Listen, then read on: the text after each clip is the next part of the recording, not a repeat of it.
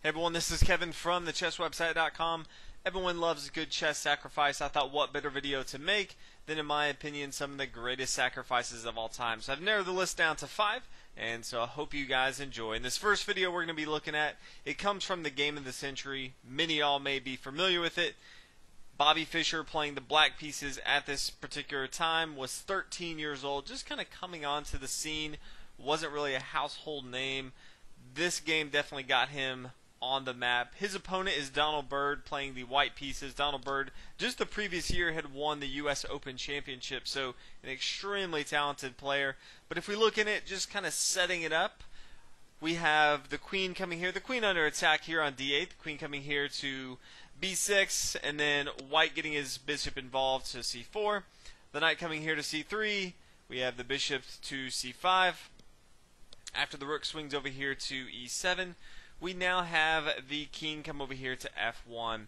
And in this particular case, now is where the sacrifice comes in. So I'm actually going to pause and let you guys think about the game and what you would do in black's point of view. You can look at it. His queen is under attack here on b6.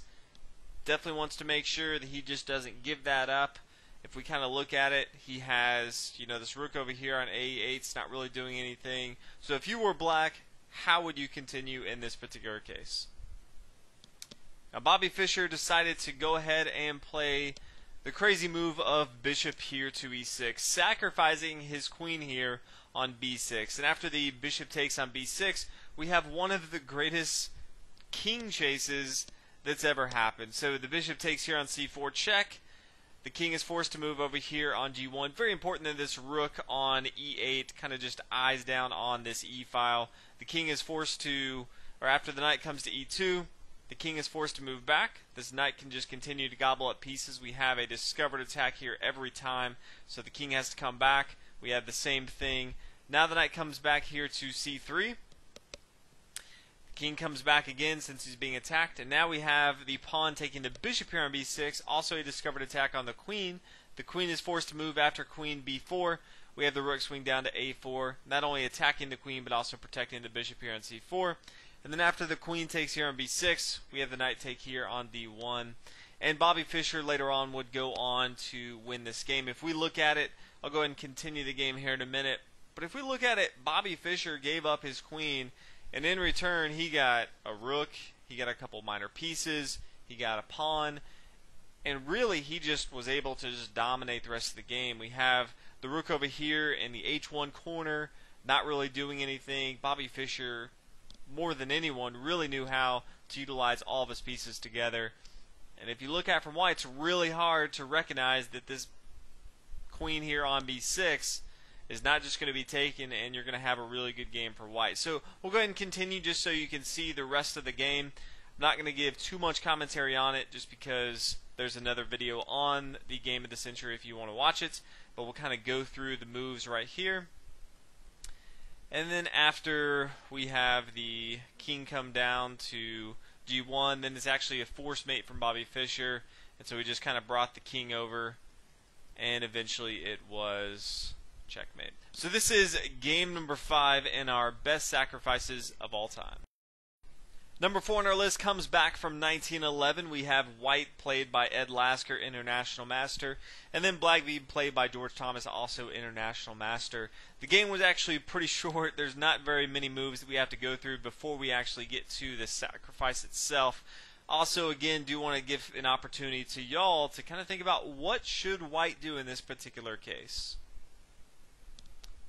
And it would be kind of crazy if you came up with it and found the entire line. But White decided to play queen takes here on h7. And what's really cool about this sacrifice, not only is White giving up the queen, but the rest of the game is forced. So the king can't come here to f7 because of the knight right here. So he's forced to take. And then the knight takes here on f6, double checking the king with both the knight and the, the bishop. That means the king has to move. There's no other way to get out of a double check. The king is now forced to move here to h6. He doesn't want to come back here to h8 or it's going to automatically be checkmate right there. So again, decides to come back here and play h6. And then we have the knight to g4. Again, everything is forced. This bishop right here on d3 is crucial. this king can no longer retreat, so the king is forced to come here to g5. As he comes to g5, we have h4. Again, just pushing this king down further and further. We have pawn here to g3. King f3, the bishop now. Again, all these knights, the minor pieces, the pawns all playing together. The king comes back here. And then after the rook over here to h2, the king decides to resign. If the king were to come here to g1, then white could go ahead and castle on the queen side and it would be checkmate. So black decided he was going to resign right at the very end uh, before white could actually have the checkmate. But brilliant, brilliant move by Ed Lasker to actually see so far in advance all the different force moves, bringing the king all the way from the eighth rank all the way down here to the first rank, giving up a queen and just using all the minor pieces get you on the top five list of the chess website's all-time greatest sacrifices.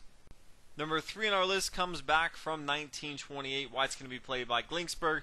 Black's going to be played by Miguel Najdorf. Obviously, has his own variation in the Sicilian defense, so very, very strong player. In this particular case, White is under attack, so he plays his king here to g2, and it's Black's move.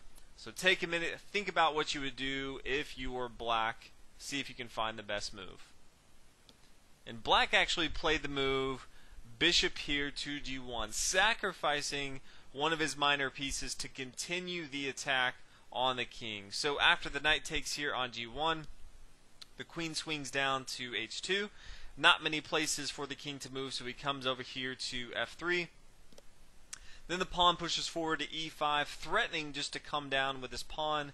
And then after the take, it would be checkmate right there. So the pawn takes. The knight recaptures, checking the king, giving up a second minor piece of material. And now we have the knight taking here on e5 check. The king comes up here to e f4. Knight check again. After the king comes back, now pawn pushes forward to f4 threatening both. We have check here, checkmate actually, with knight here to e5, uh, and we also have the potent attack of bishop here to g4. White decides to go ahead and take with his pawn, and then the bishop comes here to g4, the potent attack that we talked about. White does have the option of just moving and losing his queen right away in this particular game. Decided to go ahead and take this material. Again, didn't quite see the 7 to 10 moves in advance that Najdorf was. Uh, and then after the knight comes here to e5 check, after the pawn takes, then pawn over here to h5 and checkmate. What's really cool about this game is Black managed to sacrifice all four of his minor pieces, even those pieces that weren't even closely related to, involved into the action, managed to sacrifice all of them for a checkmate later on to the game. So extremely, extremely good game. Really, really cool to have a very interesting way to sacrifice a bishop early on just to have an attack on your opponent's king. Always definitely fun to watch and earned your spot as number three on the chesswebsite.com greatest sacrifices of all time. Number two on our list comes back to 1858, one of my all-time favorite games in chess. White's played by none other than Paul Morphy in my opinion, the greatest attacking player of all time, really understood how to use all of his pieces together. His opponents, two guys, not the greatest chess players in the world, and they really found themselves playing against a opponent that was just way beyond their skill set. But these two opponents are Duke Carl and Count Isouard. So in this particular game, White is just played, and Black plays pawn here to b5. White's played by Paul Morphy, so take a minute, just think about how you would continue with this particular setup. And Paul Morphy started the attack with the knight taking here on b5, recognizing that didn't really need the knight for the attack, so sacrificed it. Then after the sacrifice, the bishop takes here on b5. Then we have the knight stopping here on d7. We have the castling gaining the tempo with the attack here on d7. Black swings over and tries to give some assistance with his rook here on d8.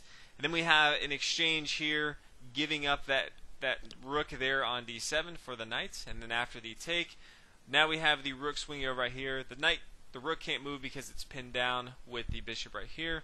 So we have the queen trying to give some room for the king to breathe a little bit. So we have the bishop take after the knight takes, then the queen takes. Ooh, and after the knight takes the queen over here on b8, then we have the rook swing in here to d8 and checkmate. So Paul Morphy pretty much just giving up the majority of his pieces because he really understood with his bishop here on g5 all he needed was something back here on d8 to win the checkmate. So again, Paul Morphy, one of my favorite players, so I'm a little bit biased, earns a spot as number two on the all-time greatest sacrifices list. Number one on our list comes from 1934. It's the Peruvian Immortal. White's going to be played by Esteban Canal, a Peruvian Greymaster.